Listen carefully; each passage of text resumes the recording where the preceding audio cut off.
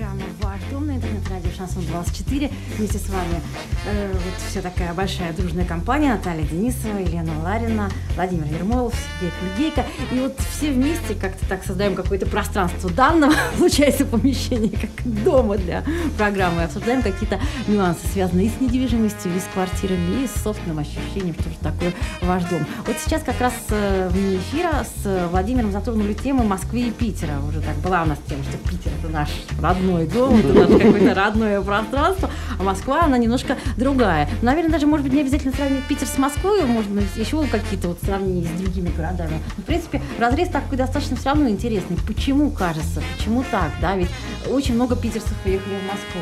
Очень много москвичей живет в Питере, они уже тоже как-то ассимилировались, они уже стали такими э, петербуржцами-петербуржцами, знаю такие примеры, даже однокурсников.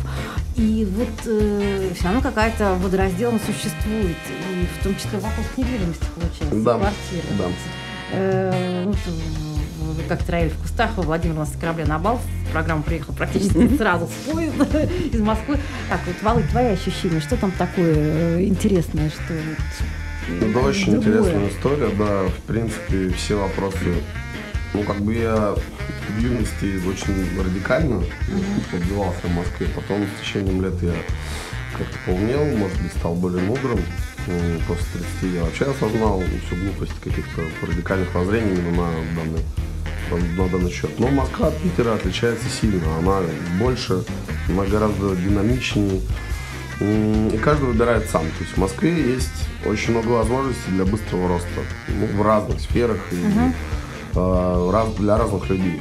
В Питере как бы намного больше такая, я не знаю, прослойка такой тихой какой-то энергии, которая тебя наполняет, и ты одухотворен. В Москве одухотвориться очень сложно, зато там проще делать бизнес, как говорят.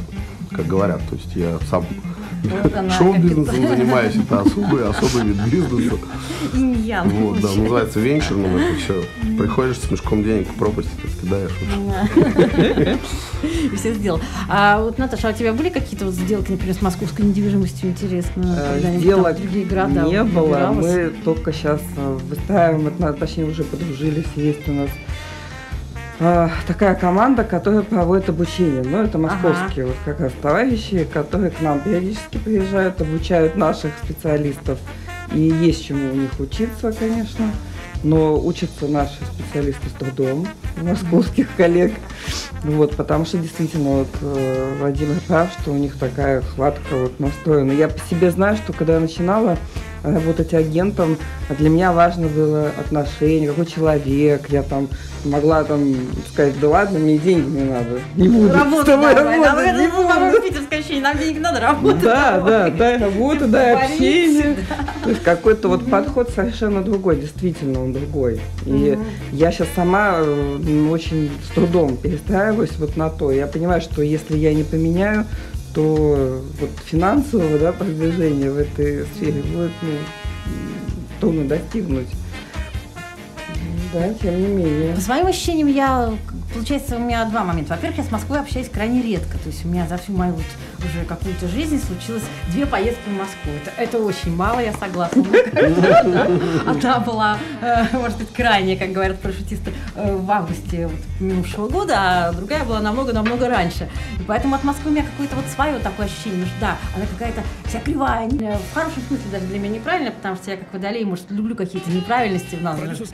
«Русский концерт». перпендикулярен, параллелен, там все, все четко, э, центр он такой, Петроград Вообще такая. хочу сказать, что с А там все как-то криво. У нас в школе всегда была, Да. да, говорили, в Москве так, а у нас так. Ну да, да, Это да, вот это уже да, В Москве как раз национальные кулинары собрались. А, Ну там у них зато вот как-то архитекторы, видимо, как-то всегда были не очень рациональны. Питер просто спокойный город. У нас архитектурно, в принципе, три четверти задумок не получилось. То есть хотелось же Петру прямо, чтобы это было, там, я не знаю, он смотрел на это все, курил свою трубку и думал, да, да, это будет Венеция, ничего не вышло.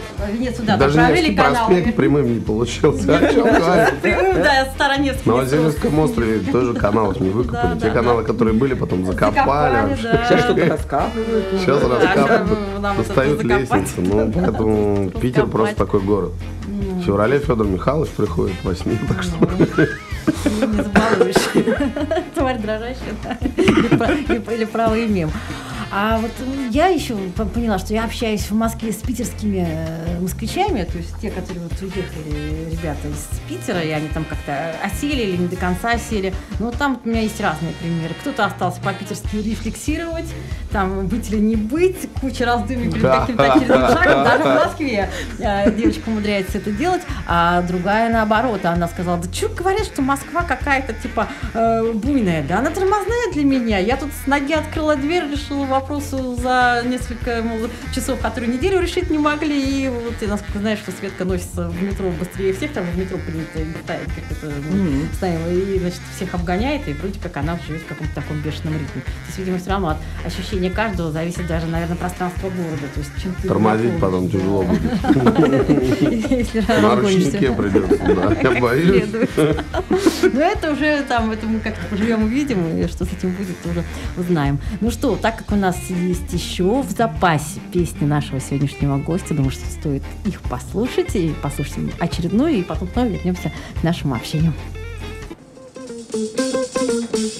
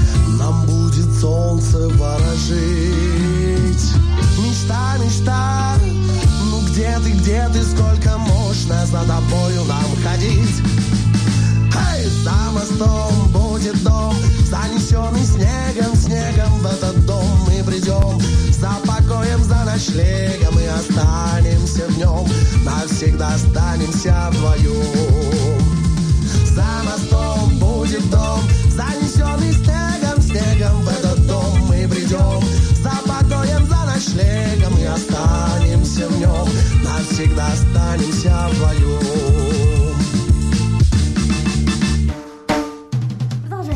Обучения на интернет-радио Шансон 24. С вами э, такая большая, веселая, дружная компания. Наталья Денисова, Елена Ларина, Владимир Ермолов. И песни слушаем мы о недвижимости, говорим о жилье, о собственном доме и о всех вопросах, что с этим связано. Вот э, все-таки, конечно, наверное, хотелось бы вернуться к каким-то э, забавным историям, связанным с, ну, может быть, со съемом жилья, может быть, с покупкой недвижимости. Вот было что-то вот, что-то совсем, я не знаю, может быть, если даже не трэшевые, но э, какие-то вот вещи, которые запомнились с юности, что м-м, я жил там-то, и там было так весело, так весело, что вот веселее, как говорится, не Ну, придумаешь. первое, что я вспомнил, это, извините, тараканы. В какой-то момент пропали тараканы, да? Да. Говорят, что они ушли от мобильников. То есть те проблемы, которые у нас были, они сразу исчезли, реально целый скоп, потому что тараканы, они в разных местах, особенно там в Новосильевском каком-нибудь мы жили. Там было очень много. Еще слышимость такая была на Новосильевском, Гаунская улица. Мы снимали там комнатку. Так там же вроде как Хотя даже... удивительно старенькие. Да, Старый удивительно, но, видимо, перепланировка после войны. А, там еще может, такая история, что 19-й дом может стоять рядом с 48-м, там все так очень непросто. Видимо, и ладно, как говорится. Наверное. Я там сижу, играю в Тетрис в комнате, а сверху меня спрашивают, какой счет. Человек слышит, как, щелкают кнопки. Мне это напоминает 12 стульев, когда Ругаться, надо шепотом, в да. общежитии там оказались, и парочка целовалась, причем это слышали все, кроме них, которые включали привод, они больше никто не слышит. Так что да, это, конечно, или такие какие-то вот вещи. Еще одна забавная, кстати, у меня была история. Ну, она не связана напрямую с домом. Мы были на гастролях, снимали ненадолго жилье. Харик. Вот, ну, да. Там было все отлично. э, Я как-то стоял возле окна, там такая, значит, ну, уже, там же юг, уже такая южная ночь, сидел. И объяснение в любви, значит, влюбленной парочки, так это все романтично. Я такой вспоминал свои годы, они там долго-долго-долго, парень там, в общем, я думаю, какой ты молодец, да. Красиво. Продолжай. Ну, главное, что не комментировал в этот момент, Да он такой голос слышит там, типа... Я же же- не так все делаю. Если что, кашлянул бы только. А, Наташа, а у тебя что связано с, может быть, тоже с какими-то твоими э, самыми начинаниями вот в этой сфере такой сложной, как недвижимость? Ведь тоже наверняка жила, там, приобретала дом или там снимала или уходила из дома. Ведь было же что-то такое? Конечно, было. Ну, детство мое прошло в основном в центре, конечно, города, напротив цирка, на Фонтанке. Одна бабушка, другая Чайковского. И даже еще я помню такой, правда, очень смутно, мне было очень мало лет, буквально там года два-три, когда это мой какой-то дальний родственник, оказывается, Александр Зимбаум, о чем я потом узнала. О, И я его видела. Александр Яковлевич, Да. мы идем к вам. Я его видела, ну, когда мама моя больше знает, да, там они бренчали, вот это сидели, что-то там. Я- и никто не понимал, что это вообще они там поют, и о чем. Я, я так вообще, мне не до этого было детство мое. Вот, а потом мы с мужем, когда купили первую комнату, ну, у нас были, конечно, веселые соседи. Алкаши, который у нас там холодильник, все, еду эту все таскал там, все, что на плите было, да. Ну да. И обижался еще, что я там его маме что-то говорила. Он говорит, подумаешь, пожалела котлетку. да». Славно. Ну вот, Мы в одной семье живем, да, это тут Да. уже девчата вспоминают. Да вы что, да мне тоже ничего не жалко, тут берите, когда там сама все ела. Потом из этой коммуналки в другую переехали, там более, точнее, менее населенную комнату, ну, вот я селила коммунальную квартиру, купили, да и там алкаш у нас. Обязательно один алкаш всегда, хоть один. Хоть один да будет. Это хочется сказать, какая-то твоя, видимо, карма была пожить. У всех, у всех, все коммунальные квартиры, это хоть обязательно один да будет. стандартный рисунок, смотря сколько комнат. Я могу сказать то же самое, потому что я оказалась съемщицей со стажем, хотя тоже э, вроде питерская наша, кронштадтская, и там как-то сложилась жизнь, что стала вот жить сама, сама, сама. И Настолько уже знаю все нюансы, связанные со съемом жилья, могу консультировать, советовать, как лучше там с хозяевами, без хозяев. То есть это все детали. Ну вот моя одна из первых, что называется, коммуналок, на, значит, Захаревской, там был интересный момент, что... Красный райончик. Да, мне тоже нравится. Конфликтовали соседки. То есть одна без мужа уже такая дама на тот момент даже не в возрасте, ну, так что вот нас с Еленой, которая тоже Лена, которая, значит, с мужем там жила. И тут, значит, вселяюсь я. И у них какой-то свой конфликт. Первый, значит, как бы за то, чтобы девочка жила, там комната куплена, значит, от э, э, другим, значит, агентом, то есть там хозяйка не жила. Вот э, вторая, значит, вроде как не хочет, но как-то вот с Леной, которая с мужем, мы нашли общий язык, потому что э, когда мне что-то было не попасть в квартиру, и я там двумя ключами шуровала, она так открывает дверь, говорит, два сразу надо. Я говорю, сказала я. И она зовет меня на кухню, будешь? И там, значит, стоит. Я говорю, да. И тут мы с ней как-то сразу подружились. В конфликте я была такой в Швейцарии, то есть я не конфликтовала ни с той, ни с другой, но вот как-то они выясняли отношения между собой, а ко мне относились обе даже так, это замечательно. То есть важно найти общий язык. Коммуналки это весело. Я как с теплотой вспоминаю тоже льет, так что было тоже хорошо и забавно. Ну что же, у нас впереди хорошие песни нашего гостя. Еще их есть еще у нас, как того хочется песен, их есть у меня. И потом снова, потом продолжим наше общение.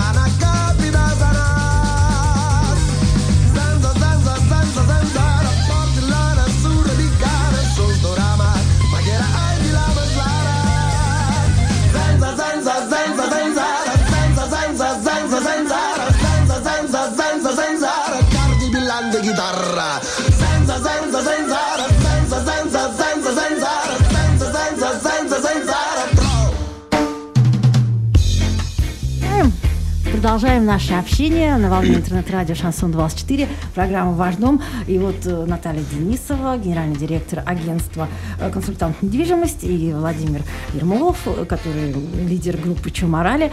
Так как для музыканта я знаю, что, собственно говоря, дом – это еще творчество, потому что ну, не творить творческие люди, простите за тавтологию, не могут. Вот хотелось бы поговорить о новых проектах, которые вот как-то, видимо, тоже создают уют в собственной душе, такой даже домашний, наоборот, какой-то, может быть, драйв и такую задорность. Э, вот группа Чумарали и, в принципе, собственно, да, я так понимаю, что есть уже какие-то сольные проекты. Да. Володь, вот чем занимаемся и куда стремимся, и что, что будет в ближайшее время? Стремимся только вперед, Это осваиваем всякие новые технологии. За последние, да, 10 лет я сделал большой шаг вперед. Ну, существует группа Чумурали, она концертирует, она сейчас пишет альбом новый. Все его ждут уже за, за теребонь клюш до невозможности. Но мы все привыкли делать хорошо, да, мы заканчиваем сейчас работу над синглом потихонечку, альбом будет писаться еще неизвестно сколько, сколько будет, столько будет. Ну, Вот, Творческие, помимо, помимо да, этого, да, порывы. появился проект Вова Чемурали на основе э, моих каких-то духовных практик. Я вот когда стал худеть, пошел на этот курс, там люди все такие духотворенные тоже, занимающиеся йогой, сыроедением, всякими такими делами. На этой почве, да, появился проект именно Вова Чемурали, он такой а, этнического толка, вокальная импровизация, фонетическая, с этническим уклоном, плюс я пишу под это подо всю музыку. Плюс будет Collision Music Week у нас скоро, через пару недель. И будет в рамках ее мастер-класс по вокалу от Вовы Чумурали под названием «Искусство вокальной реализации». Вот будет в клубе Ящик он проходить. Приходите, если что. А концерт еще вот ближайший, когда? Концерт ожидается? 24 апреля там же. Ага, ну да, чтобы, может быть, кто-то для себя тоже отложил в голове и понимал, как планировать свое время, что о, хотим, послушаем. А тогда вот у меня сейчас будет еще как-то движение в сторону Наташи, потому что я знаю, что э, На- Натальина, э, консультант недвижимости, развивается в разных ракурсах. И как раз в творческом ракурсе она тоже хочет развиваться. Да, И да. вот, пожалуйста, может даже как-то на базе того, что есть у нас Наташи, как-то и квартирник провести. Я прям такая хорошая сваха сегодня, потому что я знаю, что такие есть. И вот ведь, Наташа, тоже интересно, да, что кажется, что у коммерция недвижимость, а вот есть желание творить, да, есть желание как-то развиваться еще творчески, какую-то творческую сторону, какое-то движение. Ведь все же можно, получается, объединить, как вот грамотный дизайн, да, в какой-нибудь хорошей, дорогой квартире. Так э, молодец. Ну, я была бы только рада, если бы, да, группа. Ну, я думаю, что как-то пообщаетесь, может быть, потом Да. э, договоримся, как говорится. Да. Всяк- Одно вытекает из другого, и никогда не знаем, куда, в какую сторону все движется, и там для чего нам нужны какие-то пресечения. Вот, кстати, про здоровый образ жизни еще тоже хочется узнать. Э, Нет ли там немножко такого перекоса? Потому что некоторые настолько увлекаются здоровым образом жизни, что они вот четко вычеркивают все негативные моменты. Значит, алкоголь, э, курение, все теперь только здоровый образ жизни, только сыроедение, и как-то более мягко это проходит? Или ты тоже так взялся, так взялся, все, все лишнее выкинуть? Как тебя Ну, как сказать. честно? Знаешь, что те люди, которые меня курируют, Они не должны сейчас слушать этот Они занимаются, всего. Ну, я не сторонник зареканий вообще. Жизнь меня научила, что никогда не говори никогда. Поскольку даже сам факт того, что ты сказал, уже накладывает на тебя гиперответственность, к которой ты не готов. Поэтому можно выбрать какую-то центральную линию, отклоняться от нее как-то побочно иногда, но при этом все равно придерживаться. И будет толк, очень много толка. Да, я согласна. Самое главное держать себя в тонусе. Каким ты будешь делать это способом, это вопрос. Просто в занятиях э, физкультуры есть такие моменты слабые, да, которые всегда нас подводят. Это спина, это ноги. То есть за этим надо следить. То есть если ты, допустим, там занимаешься прессом, нужно понимать, что ты можешь сорвать спину и делать это правильно. Ну и так далее, и так далее, и так далее. Сыроедение то же самое. Ну, если ты хочешь съесть эту конфетку, ну съешь ее уже, ну что себя томить? Ну, не килограмм, например. Понятно, что если ты обнаружишь, что доедаешь второй, неожиданно со славящим взглядом, то как бы все. Уходи в голодовку на следующий день, очищай. У меня, могу сказать, есть какой-то максимализм в этих вопросах. Вот э, на что люблю золотую середину, к чему я подвожу, что да, иногда там бокал сухого красного вина или там даже не один бокал, это все нормально, это никогда не мешает каким-то процессам. Но помню, что я один раз э, словила себя на том, что стояла конфета Рафаэла на подарок. Стояла ли себе и стояли. Потом выяснилось, что этот подарок будет не нужен. Нет, пока он был как подарок, это как чужие деньги. То есть, ну, не мое не мое, стоит у меня на холодильнике. И тут, значит, выясняешь, что, выясняешь, что человек уехал и долго еще не приедет. Ну, ладно, значит, можно конфетки. Коробка, она ушла буквально за ближайшие полчаса, почему я задолбала бегать до холодильника, я ее просто притащила к кровати, думаю, хватит. Ну, зато как бы стараюсь, чтобы Рафаэла не было в моем доме. Немножко другие моменты. Э, у тебя, Наташа, хотелось бы узнать, вот ты за золотую середину или тоже за крайности? Или я вообще ничего не делаю, или я там делаю, там все Ну, вот чисто для себя, конечно, я понимаю, что мне надо более жесткий такой контроль и более жесткое какое-то исполнение вот этих обязательств. Угу. Но, конечно, должна быть золотая середина. Вот. И я тоже долго к этому здоровому образу жизни шла, и вот сейчас я начала заниматься уже два месяца фламенко, что очень тяжело. Я даже не думала, что это будет тяжело. Какой ты молодец на самом деле. И причем еще, да, лишний вес он тоже мешает, и с ним надо работать. И это тоже мне тяжело дается. Но как-то вот оно ну, ты осознаешь это, ты идешь в эту сторону, и, как говорят, дорогу осилит идущий, так что, дай бог, там шаг да. за шагом все срастется, все получится. рано или поздно, как говорится, победа будет за нами. Ну что, времени остается все меньше и меньше, но, тем не менее, хотелось бы послушать еще одну песню нашего сегодняшнего гостя, и потом вернуться уже в эту студию, подвести какие-то итоги, попрощаться с вами, до следующей встречи, но все это будет чуть позже.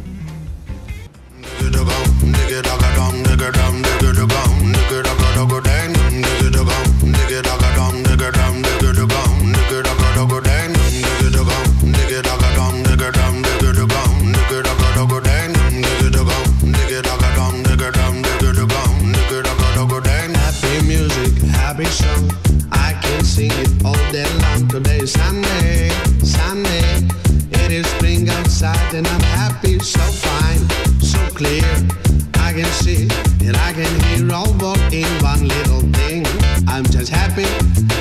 parar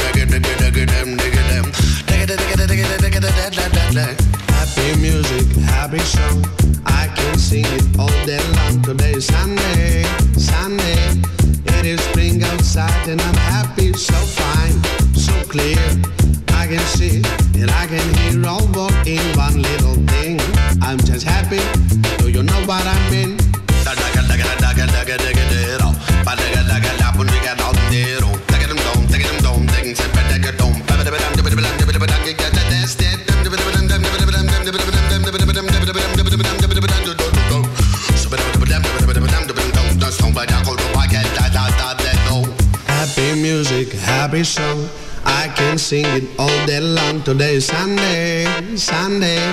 It is spring outside and I'm happy, so fine, so clear.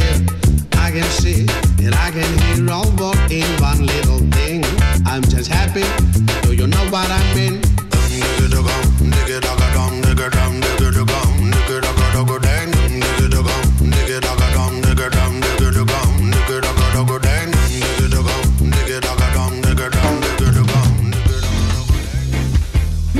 Продолжается и даже, можно сказать, завершается постепенно программа наша сегодняшняя, такого нового интересного формата, когда о делах говорим легко и весело, с творческим подходом. Творческий подход обеспечивает в нашей сегодняшней истории Владимир Ермолов, а вот Наталья Денисова, она тоже творческий человек, хоть такая деловая бизнес-вумен, как э, у нас вот есть такой, да, Классно. Да, да, да, да. да светлые мысли. Да, а вот, вот все всегда, я говорю, пресекается, всегда можно найти какие-то э, моменты соприкосновения соприкосновения. Тоже против жесткого деления. Так, бизнес это отдельно, это дело это отдельно, дружба это отдельно, любовь это отдельно. Думаю, зачем, ребята, можно все делать как-то вместе, гармонично и как-то э, куда-то двигаться. Ну, поэтому, наверное, хотелось бы э, завершить на какой-то такой гармоничной достаточно нотке, потому что, ну, вот о ближайших планах Володь мы уже поговорили, да, там, что уже поклонников группы Чеморали лично Владимира, а вот еще хотелось бы, может быть, э, ну, как-то понять твои э, стремления вперед на какую-то ближайшую перспективу такую отдаленную,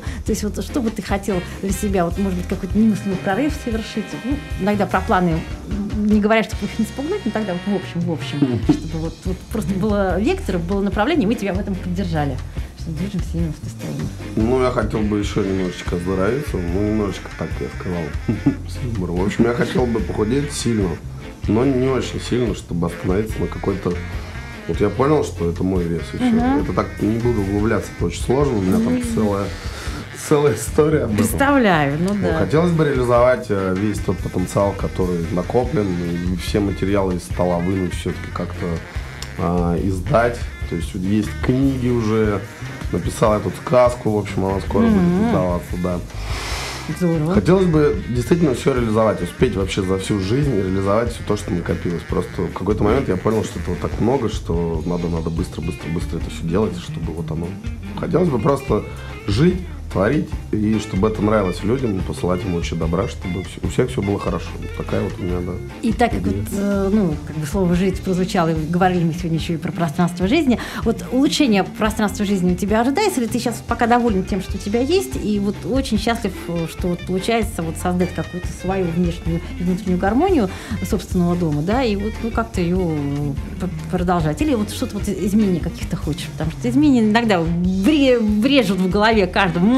А сюда у меня еще мансарду бы, мансарду сюда. На хрущевку как-то не впишется. Ну, ну, Я может быть, не. Это точно. Я меняюсь э, по воле именно проведения какого-то. То есть, если надо, я начинаю меняться. Если нет, ну, конечно, хочется каких-то всегда. Хочется материальной базы для воплощения проектов. Хочется, а, чтобы все люди, которые участвуют в моих проектах, тоже получали бы заслугам. У нас, в принципе, все хорошо. Все есть, мы движемся пос- поступательным таким шагом, но при этом наращиваем, наращиваем, наращиваем. Хотелось бы нарастить, чтобы эта база была такая а, не требующая доказательств. Вот хотелось бы просто творить. Но музыкант всегда обязан кому-то что-то доказывать. Это тоже нормально, я понимаю.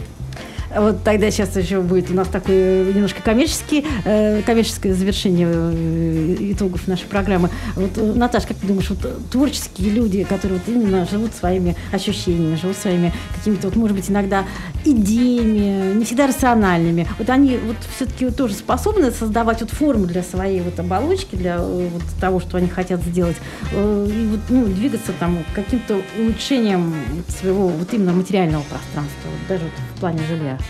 Ну, хочу сказать, что наш собеседник сегодня очень меня прям так вот получила я просто такой вот положительный заряд какой-то, да, энергии, и вот своим там раздуем, пока ехала сюда. Но сколько я встречалась вот с творческими людьми в плане приобретения вот этой оболочки, да, Ага. то, в общем-то, они, ну, далеки от этого, как правило, да. Здесь я немножко могу перестроиться на более деловой и помочь, да, А, в этом То есть, плане. когда Если, человек конечно, совсем человек унесет, хочет, да. то есть, да, мы Ну, говорим в общем, да. Последний вот у меня был, вот я, по-моему, даже говорила, что актриса там одного из Ага. наших театров, и с ней, э, вроде она и понимает, что я ей раскладываю, но не понимает.